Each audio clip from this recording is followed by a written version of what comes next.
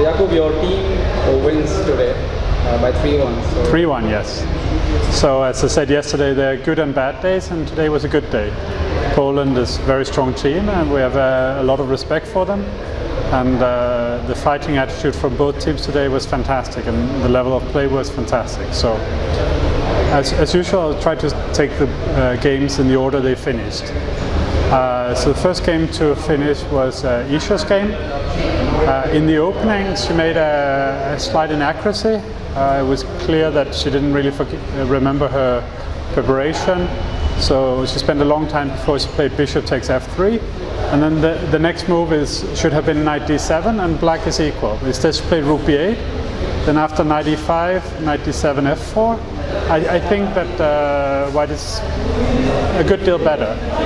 Um, but then her opponent uh, chose to go into a technical position after knight d7 and bishop b5, which looks appealing because there's this uh, weakness backward pawn on e6. But it's one weakness, and black can uh, easily place the pieces so she can uh, defend it.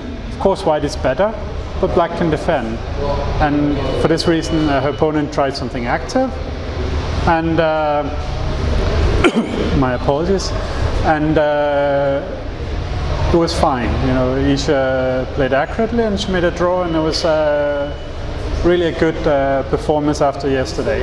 Um, so, uh, yeah, as I said, uh, knight takes d7 was the moment I think white went wrong. If instead tried some uh, attack on the king side, uh, I, I, would have been worried.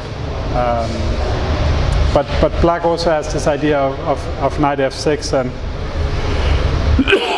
94, um, but it's still a passive position. So okay, we never know how that would have gone.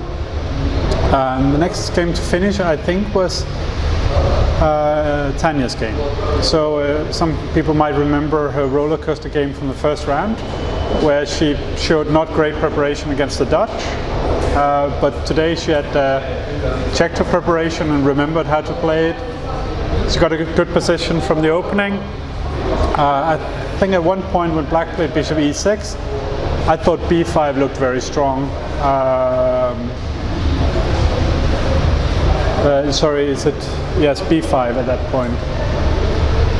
I'm not not sure. Uh, no, it was like bishop e6, d5, bishop g8, knight d4. I think queen c8 was played. Sorry, I'm mixing things up. But I think taking on c6 and b5 was very strong, and then bishop takes c4, knight takes c6 some it can come in, in a few different ways. I thought white was much better there as it came. White was better, but it was, was not much. Then after this uh, knight e4 move, uh, Tania made a very, uh, very good strategic decision of giving black a weak pawn on e4 and d6, and then the knight from b6 can come back via a4 to c3. It's a very difficult position for black, and she just played really, really well there. I was very impressed. I was very happy. I was always happy to see when uh, when a player plays well. Humpy's game was a little disappointment because she, uh, she played the opening really really well. Uh, she got a technically winning position, but it was not so easy, and uh, there was a lot of counterplay on the dark squares. And in the end, uh, she defended really really well. Um, especially when you think of that uh, she couldn't play yesterday because she was ill. So today she played and she defended really well and she held this uh, position. In the end, uh, it was opposite colored bishops and it wasn't possible to win it. But you know, if, if that's the best they can do with Humpy is uh, survive uh, very painfully, then looks good.